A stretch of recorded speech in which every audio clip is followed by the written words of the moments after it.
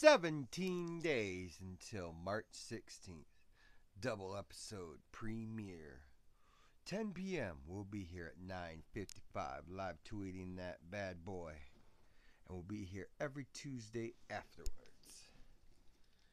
Bishop, the president with the new look and the beard, I just love it. It is looking sweet and he looks aggressive, he looks mean. It also looks like he's going to be running up to some problems with the cartel. Gilly, we always appreciate the muscle. Hank the Tank, always the sergeant at arms. Got got to appreciate him. Taza, you know that autopsy will be found out eventually about Riz's murder, and they can't hide asphyxiation. I'm just saying. An autopsy, they're gonna have to pull some magic and tricks out of the hat. Plus, who is the dead son in the desert? It can't be Happy. It can't be Chibs. Can't be Tig. It can't be Rat Boy.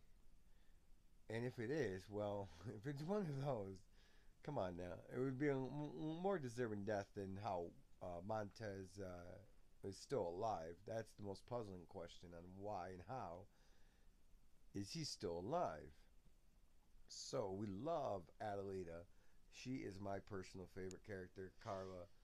Her performance, her amazing acting, her ability to bring Adelita to life has really shown the light on Mayans MC as a different kind of show, where she just fits right in with the with the with the Mayans and the motorcycles and everything in, in the family drama and all the integral things that come with it.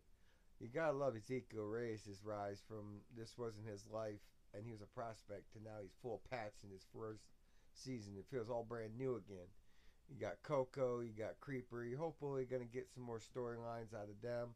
You got Angel, of course. He in Ezekiel has been a magical storyline the past two seasons.